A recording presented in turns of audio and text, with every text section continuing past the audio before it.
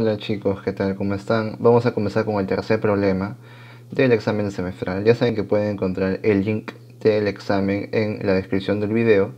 También pueden ver mis listas de reproducción que tengo del examen también y de otros exámenes que he hecho de la CEPRE-UNI, de Admisión UNI, etc. Bueno, este problema es un problema de gráficas de aceleración versus tiempo. Nos dice que hay, hay una persona que ve gotitas caer y nos dicen que Observa que estas gotitas cuando alcanzan su velocidad límite, ¿qué sucede? Dice que los ve con un ángulo de 37 grados con la vertical y nos piden calcular la rapidez de la constante del bus.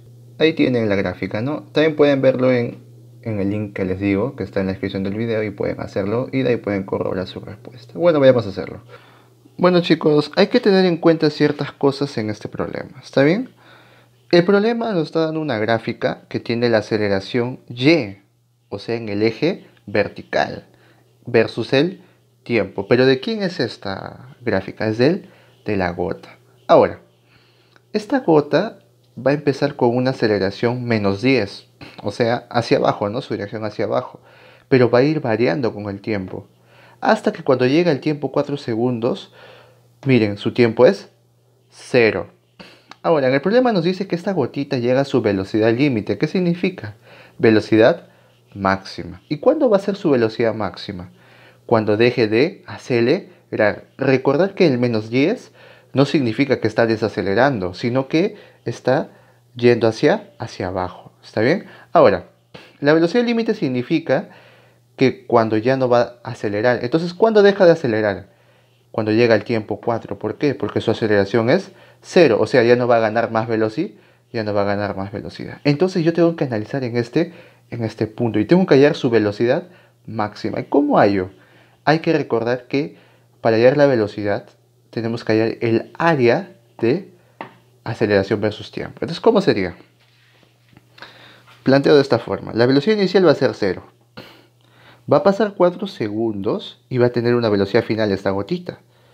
Entonces, ¿qué significa? Si yo quiero la velocidad final de esta gotita, o la velocidad límite de la gota en sí, no es la velocidad final, sino es la velocidad límite de la gota, ¿cómo tengo que hacer? Hallar el área del gráfico, que sería este tri, este triangulito. ¿Cómo sería? Base por altura entre 2. Entonces sería 4 por 10 entre 2. ¿Cuánto sería la velocidad límite? 20 metros por segundo. Recordad que esta velocidad límite es cuando llega el tiempo 4c, 4 segundos.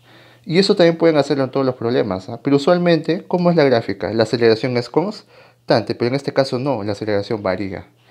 Bueno, sigamos. Ahora, después de hallar la velocidad, la velocidad límite de la gotita, el problema me dice que hay un pasajero que está viajando en un bus y ve la gotita con un ángulo de 37 grados. ¿Está bien? El bus supuestamente debería estar acá, ¿no? Su velocidad. Y supuestamente hay alguien viendo de acá pero dice que ve la gotita descendiendo de un ángulo de 37 Por eso lo puse así. ¿Está bien?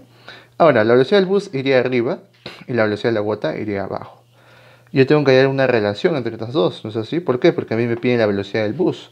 Como me piden la velocidad del bus, ¿yo qué digo? Velocidad del bus estaría en la relación de 3 a 4, ¿no es así? Por la regla de 37 grados. Entonces de 3 a 4. Ahora, pero la velocidad de la gotita yo sé cuánto es, 20 metros por segundo. Entonces simplemente reemplazamos 20 por 3, 60 entre 4, 15 metros por segundo. Entonces es un problema sencillo, ¿no? Del bus. Recordad que hay que saber ubicarse. Este también sería un problema de movimiento relativo. ¿Por qué? Porque no es que la gota esté moviéndose con el bus, sino que el bus lo está viendo desde otra, posi otra posición.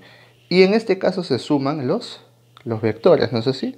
y se forma el 37 grados. Bueno chicos, espero que les haya gustado el problema. Nos vemos en un próximo video y recuerden cómo hacer gráficas, problemas de gráficas. Si desean más problemas de gráficas de este tipo, escríbanme en los comentarios y les puedo hacer más problemas. Bueno chicos, nos vemos en un próximo video. Chao, chao, cuídense, denle like ¿verdad? al video y suscríbanse al canal y compartan el video. Nos vemos chicos, cuídense.